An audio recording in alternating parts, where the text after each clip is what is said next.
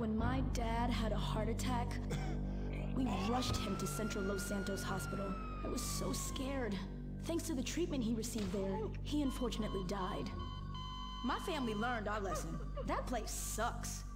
Heart attacks won't kill you. The wrong choice in hospitals will. Take your loved one to Mount Zonah Medical Center. Mount Zonah is number one in heart attacks, brain hemorrhages, Tourette's, Fuck shit cunt!